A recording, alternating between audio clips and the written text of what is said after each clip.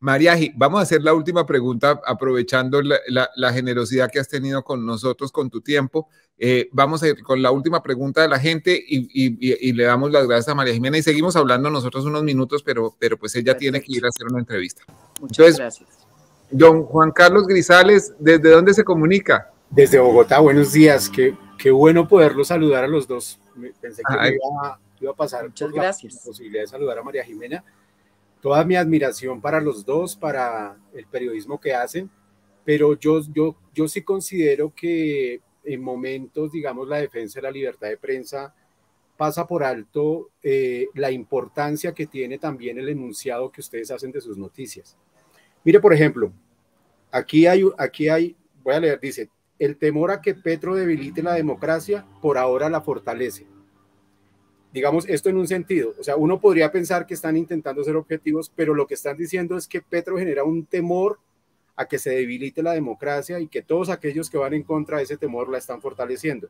Pero paso seguido y en sentido contrario, dice, Fiscalía investigará a militares que quieren defenestrar a Petro, con lo cual estamos asumiendo que los militares quieren defenestrar a Petro, pero ellos han repetidamente, digamos, eh, dicho que no quisieron decir eso. O sea, el señor se equivocó y, se, finalmente, echó para atrás. En la construcción de una noticia se reitera un enunciado que sí tiene un significado y que sí tiene un impacto en la opinión pública. Entonces, cuando el community manager de Caracol pone una fotografía diciendo algo que de pronto no analiza bien en el sentido que está generando, porque es que el significado tiene una connotación en mí como lector. Digamos, yo tengo esa lectura, pero no todo el mundo la tiene. El que pasa por encima de un, de un, de un titular sí genera una lectura y esa lectura impacta. Entonces, tanto el punto de vista del presidente como, digamos, el primer mandatario, que es el que también de alguna forma por decirlo así, manda la parada, digamos, en, lo que se está hablando, tiene una, una digamos, una, una guía sobre la opinión pública, los medios de comunicación también, estén del lado de él o en contra de él o, en, o digamos, eh, en, la búsqueda de esa objetividad. Y yo creo que ahí es donde puede estar un poco la reflexión de parte y parte. Yo creo que Petro es un político que no va a dejar de hacer política y que sigue haciendo política todo el tiempo y él ya se está, digamos, preparando para las, para las, ahorita las regionales y va a empezar a trabajar para las presidenciales y todo eso lo va a hacer. Pero eh, esa objetividad es necesaria incluso en el, en, en, el, en el, desarrollo de esos enunciados. No sé si ustedes qué piensan de eso, eh, pero básicamente saludarles y decirles que les agradecemos muchísimo. De mi parte, los leo, los veo, los escucho, los busco y maravilloso haber podido saludarlos a los dos. Gracias.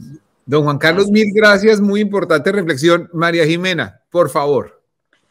Pues es que eso es muy difícil ya de eh, asumirlo así. Digamos, yo estoy de acuerdo con muchas de las cosas que, está diciendo Juan Carlos, creo que se llamaba él. Sí, señor, don Juan Carlos Juan Carlos. Eh, pero el problema es que todo se analiza a través de los titulares, no se, no se estudia, no se lee qué es lo que dice la, la noticia. Entonces, eh, el problema de, oír y ver todo esto a través de las redes es que lo que impacta es el titular. Hombre, no hay tiempo de ver ni siquiera la noticia. Eh, y ahí se van creando pues una cantidad de eh, presunciones que de pronto van enredando más la pita. Pero el tema es que yo creo que hay que desarmar un poco los espíritus. Eh, que los arma todos los días las redes, lo, arman, los espíritus se arman eh, por las mañanas eh, con escudos, así como en la primera línea salen todos los espíritus en las redes. Bueno, eso hay que desarmarlo a la hora de entender cuál debe ser la relación entre el gobierno y los medios de comunicación. Eso es lo que se plantea, que estemos de acuerdo o no con la manera como se titula, pues desde luego que no vamos a estar de acuerdo, pero que eso se vuelva una acusación que tiene que ver con el hecho de que se le endilga a los medios de ser los responsables de la división de las fuerzas militares es otra cosa. No tiene nada que ver. Es que una cosa es una cosa. Claro que hay discusiones, claro que no nos van a gustar mucho. A mí no me gustan muchísimas cosas que, que, que, que, pasan en muchos medios y titulaciones de, de los medios de comunicación, pero no de ahí a que el presidente acuse que por un titular a los medios que hacen ese titular de ser los responsables de la división del ejército, de las Fuerzas Armadas, pues eh, es una cosa muy distinta. Y ese es eh, como el llamado al que yo, al que yo hago y es al de, al, de tratar de, de, calmar los espíritus y que el, el presidente nos conduzca más bien hacia ese país que nos prometió que es el país del cambio, eh, sin tantos sobresaltos. Sí, señora. María Jimena, mil gracias. También quería, quería compartir contigo un pensamiento que es que el titular, como tú dices, está, está sobreestimándose frente al valor del corpus noticioso.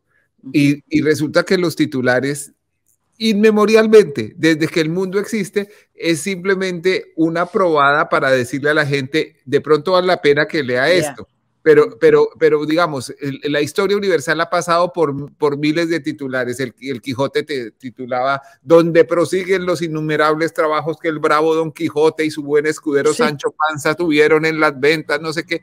Y, y pues así no se puede titular. Eh, eh, ahora trabajamos todos en, en, unas plantillas de, de, CMS, como se llama. Entonces, a veces en el, en el título caben 80 caracteres. Claro. tú, tienes, que dar la vuelta hasta que quepan los 80 y todo eso. Y, y no hay titular que sea exhaustivo. Eh, otra cosa, como, como decía un, un, un gran eh, comunicólogo y, y, y, politólogo que es, es eh, Daniel Patrick Monhan, todo el mundo tiene derecho a su propia opinión, pero no a sus propios hechos. Es decir, podemos decir, yo pienso de esto que es amarillo, verde o rojo, pero, pero si los carros que se estrellaron son cuatro, son cuatro, no son tres ni cinco. Y, y, eso nos obliga al rigor en la descripción de los hechos y a la libertad en las opiniones que se expresen cuando se trata del periodismo de opinión. María Jimena Muchas gracias. Eh, yo, yo cierro con esta reflexión. No sé, es una pregunta, Daniel. Yo creo que ahora es mucho más difícil, muchísimo más difícil ser periodista, ¿sabes? Mucho más difícil. Antes nos baleaban, nos, nos tocaba irnos de este país porque nos estaban matando. El número mm, de periodistas ahora mm, que se asesinan es bastante menor, pero ahora es difícil encontrar, em, digamos, como el camino, la ruta para seguir ejerciendo un periodismo independiente. Hay veces, hay veces me pregunto si, si, si, si ahí estamos bien haciendo las cosas. Va, ahí vamos. una cantidad de reflexiones que me dejan estas discusiones. Además que, además que tenemos que producir mucho más en menos tiempo y todo. Y eso, bueno, digamos, tú, tú y yo tenemos el privilegio de que tenemos ciertos espacios mayores para poder, para poder opinar y todo esto, pero, pero tú te imaginas eh, eh, los colegas que tienen hoy la edad que nosotros teníamos cuando estábamos empezando, la, exigencia que tienen por las cantidades de producción que demanda esta máquina de moler que son las redes sociales y, el periodismo digital, de alguna manera, todo lo que sea eh, eh, aumento en cantidad va perdiendo un poco el estándar de beneficio en calidad. Y eso, eh, nadie ha podido invertir esa ecuación, María. Si, si tú tienes que producir más, es posible que, que, lo logres, pero, pero se afecta la calidad individual de lo que logras. Es cierto. Bueno, muchísimas gracias por esta invitación. Un enorme privilegio tenerte en el reporte coronel, que no sea la última vez, por favor. Bueno, no, ni más faltaba, y que tú vayas al podcast también. Claro que sí, cuando me, cuando me ahí estado. Ahí estado, me encanta. María un beso grande. Y saludos a todos. Ejemplar, una persona, una persona que nos ha enseñado mucho con el ejemplo.